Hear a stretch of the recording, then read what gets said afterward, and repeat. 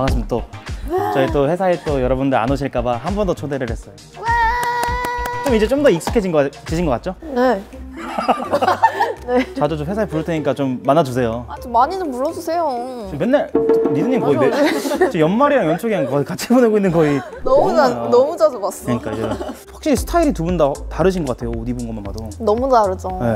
올해 뭐 유행인가요 이런 청청 패션이? 올해 트렌드 중에 하나가 바로 청청이거든요. 청청 꼭 입으셔야 돼요. 제가 입은 제가 입으면 유세윤처럼 될 것 같은데 땡칼라 파워 느낌이 될 것 같아서 거 요즘에 모른다고요.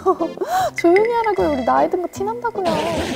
첫 번째 주제는 약간 옷 좋아하시거나 신발 좋아하시는 분들의 약간 평생 고민이죠 신발이 먼저냐 아니면 코디할 때 옷이 먼저냐 아... 약간 이거는 정말 평생 죽을 때까지 할 수밖에 없는 고민인 것 같은데 두 분은 어떻게 생각하시는지 저는 저 무조건 신발이 먼저. 거의 거의 거의 한 90%는 신발이 먼저. 오 이유는 뭐예요?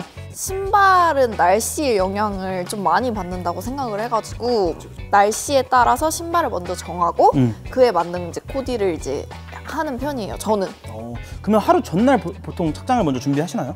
그렇게 치밀하지는 않고 이제 아침에 이제 시- 준비하면서 시리한테 물어보죠. 시리야 오늘 날씨 알려줘 하면은 시리가 맑음입니다 이러면은 나 이제 준비하면서 이제 맑음이었는데 갑자기 비가 올 수도 있잖아요 그럴 땐 어떻게 하세요 그러면? 근데 그런 적은 있어요. 옛날에 신발 진짜 아낄 때 그때 카시나던 그 처음 리셀로 샀을 때 음. 같이 신었는데 비가 오는 거예요. 그래서 편의점에서 바로 삼선 슬리퍼 산 다음에 그 봉다리에 넣어서 들고 다닌 적은 있어요. 그때는 뭐 도현님 어떠세요 그러면? 원래는 신발이 먼저였는데 음. 이제 아무래도 사진 찍을 일이 많다 보니까 아. 사실 옷이 먼저 정해지는 경우가 경우가 제가 한 1년 넘게 이렇게 겪다 보니까 음. 근데 결국 옷을 다 정해놓고 신발을 신었는데 마음에 안 들면 그 착장이 별로 별로여 보이더라고요. 어 그럼 결국 신발이 먼저시고 도현님은 약간 신발이 먼저긴 한데 옷에 따라 요즘에는 좀 달라진 거고 아, 이거 확실히 다르긴 하네요 저는 오늘 아침에도 정하지 않아요 저는 옷을 다 입은 상태에서 어? 이 옷이랑 맞는 게 이 신발이네? 그리고 신고 나가요 갑자기 비가 오는 날이 좀 많잖아요 네. 비가 오거나 눈이 오는 날 약간 이런 때만 신는 그런 전투와 같은 신발들이 있으세요 두 분은? 비 오는 날이나 신는 거는 범고래. 이거 왜 그렇게 된지 모르겠는데 오프화이트 덩크 미시건이 거의 그렇게 돼버려가지고 그 비싼 걸? 어 근데 저는 비싸게 안 샀었어요. 아 그래요? 네, 편한 신발이면 그냥 전투가 되는 것 같아요. 가격 그렇게 크게. 아 덩크가 편하, 편하세요? 조던이랑 아 조던에 비하면 아. 편하니까 비 올 때 주로 포스류를 많이 신는 오. 것 같아요. 일단 굽이 맞아요. 조금 어느 정도 있고 음. 그래서 피마원도 진짜 비 오는 날 진짜 그쵸? 많이 신어. 진짜 좋지 않아요? 네. 피마원? 비 맞아요. 오는 날? 겁나 세요 얘가. 그리고 끈도 우동끈이라서 약간 저도 괜찮은 것 같기도 하고 어 괜찮고 막 신고 비 오는 날 난리 부르스를 쳐도 멀쩡하고 비도 안 들어와요. 진짜 좋아요. 그럼 저희가 또 다른 주제 또 커뮤니티 사이트 많았던 게 약간 중고가 어디까지 중고냐 아 약간 요거 좀 정하기가 쉽지 않더라고요 애매하다. 두 분이 생각할 때 약간 중고 뭐 극미 중고라고 해야 되나? 극미 중고는 어디까지가 극미 중고인 것 같으세요? 어쨌든 중고는 한 번 착용을 했다는 거잖아요. 한. 번 이상. 아웃솔은 어쩔 수 없이 더러워지는 부분이기 때문에 아웃솔은 신경을 안 쓸 것 같고 어차피 나도 신으려고 사는 거니까. 그렇죠 몇 회착보다는 약간 좀 깨끗하냐 안 하냐 유무가 좀 맞는 것 같다 그쵸 그게 한 번을 신어도 정말 더럽게 신는 사람이 어, 있고 가슴 어, 너무 찔린다 어, 내 얘기하는 건가? 들으라고 하는 소리예요. 그러니까 그럼 도현님은 어떤 게 중고라고 생각하세요? 그냥 제가 남들한테 극미중고라고 팔 수 있는 정도 한두 번? 똑같은 중고 얘긴데 두 분이 샀어요 근데 약간 깔창에 나이키 swoosh가 지워졌어 살짝 아... 그런 건 중고인가요? 아 중고죠. 극미 중고인가요? 그거 극미 중고죠. 아 그럼 극미 중고다. 이거 제가 말, 저, 저 말할 수 있어요. 어 말해주세요. 제가 말해주세요. 조던원 하이 코트 퍼플을 당첨이 돼가지고 그거를 한 번 정말 시착만 했어요.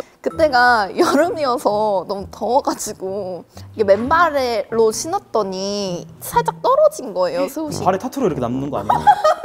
게이득? 어, 게이득 진짜 뜻밖의 이득 나쁘지 올려서 않은데? 나쁘지 않은데? 어. 그래서 결국 리셀을 하게 됐는데 그때 이제 거기가 떨어졌으니까 중, 중고로 쳐서 되게 낮은 가격에 팔았던 기억이 있어요. 음. 근데 그 부분 너무 지우개 아니에요? 너무- 너무 잘 지워지긴 해요. 이런 거 바로 신으면 안에 다 네, 거의 없어져요. 자 그럼 회심의 질문 또 하나 가져와봤어요.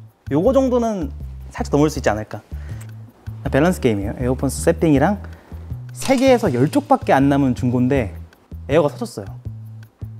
이게 쓸- 쓸모가 없는 거죠. 가치가 없는. 아, 가치는 있을 수 있겠죠. 근데 신을 수는 없는 거죠. 에어가 터졌으니까. 그거 두 개가 있으면 뭘 사실 것 같으세요? 굳이 하나를 골라야 돼. 어, 굳이 하나만 골라야죠. 그냥 에어포스 살것 같아요. 세계에서 10족 남았는데 세계에서 열 족 남았는데 고칠 수 있어요? 혹시 포스 그게 터진 거? 그건 제가 비펠라님한테 물어봐야 될 것 같은데 그거는 그것까지는 제가 아니, 근데 저는 신발을 좀 관상용이나 보관용으로 하는 편이 아니어가지고 실- 다 실착하고 막 신고 이래가지고 에이셉 라키가 신었던 거라도 아 잠깐만 와, 아, 처음 통했다 오늘 아. 에이셈 라키가 신었던 거? 에이셈 라키가 신었는데 공연 중에 신다가 포스터가 터졌어 신발로 제가 살 거면 안 살 것 같고 만약에 어. 그런 의미가 있는 어떤 전시 막 이런 걸로 사야 되면 그러면은 살 것 같아요. 살만은 한데 네, 살만한데 굳이? 굳이? 네. 니드님이라면 바로 사버리죠. 어, 고민? 어, 뇌를 안 거쳐요. 일단 10족이 남았다가 일단 중요한 포인트잖아요 그게 완전 중요 포인트죠. 그쵸. 에어가 터진 거 안 중요해요. 그냥 보고 있으면 기분 좋잖아. 어, 이게 밸런스 게임 하면 가끔은 보통 두 분 맞는 것도 나오긴 하는데 하나도 안 피해 이것도 약간 커뮤니티에서 진짜 항상 돌고 도는 얘기 뭐예요? 또 약간 결혼하신 분들이 또 많이 물어보는 얘기예요 근데 그 상대방이 이 신발을 이해 못 하시는 분들이 가끔 있을 수 있어요 아... 왜냐면 이게 우리들만의 문화니까 그런 분을 만난다면 어떻게 이렇게 설득을 하시겠어요? 그 취미생활 일단 파악하고 어, 그걸 가지고 이제 딜을 해야죠. 협상을 해야죠. 딜을 한다? 네. 어떤 식으로? 그분이 취미가 게임하는 거다. 음. 너 나한테 너 게임하고 싶어? 그럼 나, 나 신발 사는 거 뭐라고 하지? 살짝 약간 귀여운 협박 같은 느낌이네요 그쵸. 너가 아. 게임 좋아하는 것처럼 나도 나는 좋아하는 거니까. 난 신발을 좋아하는 거야. 그리고 너한테 사달라고 안 할게. 내 돈 내산. 오. 그럼 남자친구가 나야 신발이야 이렇게 물어보면 어머. 그런 그런 적이 있- 그런 있을- 유치한 사람 있어요? 근데 남자친구 게임하면서 물어봐 나야 신발이야? 그건, 저는 남자친구. 오 저는 하나 줄 것 같아 먼저 음. 아. 우리 한번 신발 한번 빠져보는 거 어때? 약간 이런 식으로 어, 만약에 결혼을 하셔서 네. 와이프한테 이제 신발을 조금 편하게 사고 싶어서 어. 진짜 큰맘 먹고 정말 비싼 150만 원짜리 신발을 선물로 해줬어요 와이프한테. 예예 근데 와이프가 솔드아웃에서 그 신발을 검색을 해보고 봤더니 150이야. 바로 노발대발 하면서 지금 응? 월급 이만큼 벌어오면서 지금 150짜리 산 거냐. 그만해 제발 그만해 이거 당장 갖다 팔아라. 나 이걸로 먹고 살아 좀 이해해주면 안 돼? 오, 그렇게 세게 하면서 제발. 그리고 바로 무릎 꿇죠 미안해 그럼 팔으라고 하면 팔아요? 그땐 팔아야죠 결혼했으면 팔아야지 도현님은 어떨 것 같아요 그러면? 전 애초에 그냥 상대방이 뭘 하든 별로 관심이 관심이. 없고. 근데 남편이 에이셈 라키여도? 에이셈 라키요? 네. 에이셈 라키가 결혼하고 평생 도현 씨만 사랑한다는 전제 조건하에 신발 아무것도 사지 말고 한 가지만 신으라고 해요. 그냥 에이셈 라키가 아니고 오, 아, 진짜 좋아하시나 보다. 아니 유일하게 통한 게 에이셈 라키야. 다른 거는 하나도 안 통했는데. 아니, 확고해 제가 딱 확고한 그게 있어가지고 솔드아웃에서 구매도 이제 많이 하실 거잖아요. 5만 포인트 정도가 생겼어요. 근데 내일 마감이래. 그럴 때 보통 구매를 하시는 편이에요? 아니면 안 사는 편이에요? 5만 포인트면 살 것 같아요. 근데 이제 제가 쓰려고 사진 않을 것 같아요. 아 그러면 선물? 선물이나 아니면 이제 판매하거나 아, 음. 리셀. 네.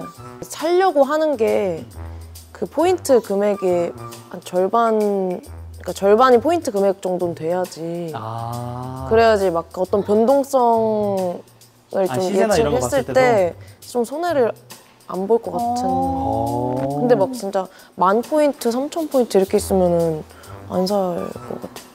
5만 포인트 있으면 당장 사고 싶지 않아요? 막? 안 보던 신발들도 막 사고 싶고 막 이러지 않아요? 아니요? 저예요. 그 사는 사람- 사람이 그 사람이 바로 나예요. 아 솔드아웃 좋아하는 사람이 당신이었어요? 바로, 나- 바로 저예요.